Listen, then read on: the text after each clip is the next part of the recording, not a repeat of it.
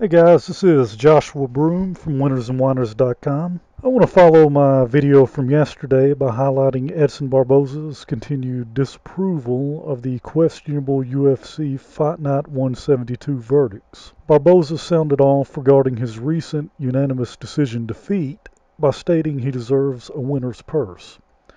Feeling burnt by iffy judging, Edson says if he doesn't receive just compensation, he will not fight again at 145 pounds for the world's largest MMA promotion.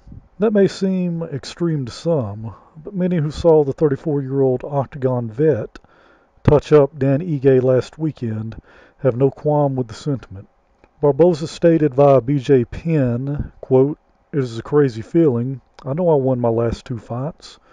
The people also know I won my last two fights but my record says losses, so it is sad.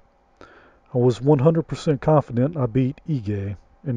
Having lost his last three Octagon encounters, the slighted American top team member says even UFC President Dana White agrees the recent decision was a robbery. Barboza then claims backstage personnel echoed White and MMA social media's opinion concerning the weekend dampening outcome.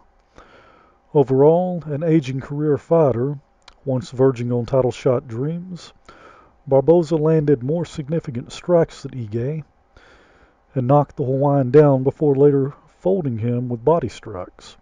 It appeared after 15 minutes and weeks of harsh training, the Octagon vet would gain needed momentum.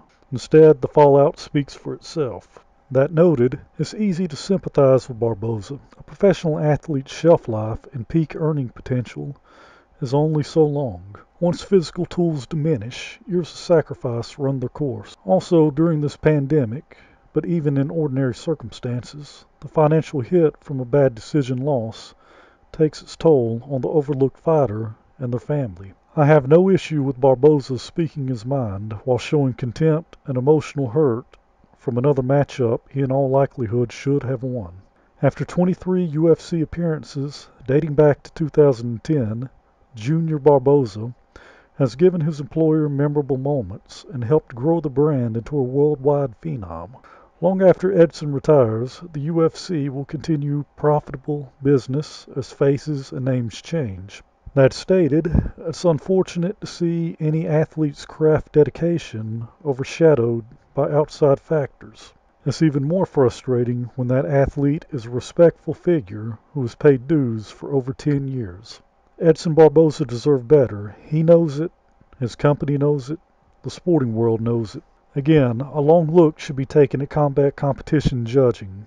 Unless a fight ends early, those three ominous ringside officials can make or break lives stretch far outside the arena. That's power. Barboza certainly isn't the first to encounter unfortunate scoring, and he won't be the last. But kudos to Junior for taking a stand. We've seen the story many times. However, perhaps the historic week of UFC action magnifies the moment. And personally, after this latest incident, I'd like to see increased oversight regarding decisions. I know judges are human, but Edson's bad luck seems a tad overstated. Anyhow, what do you guys think? Is Barboza's outspoken rant warranted?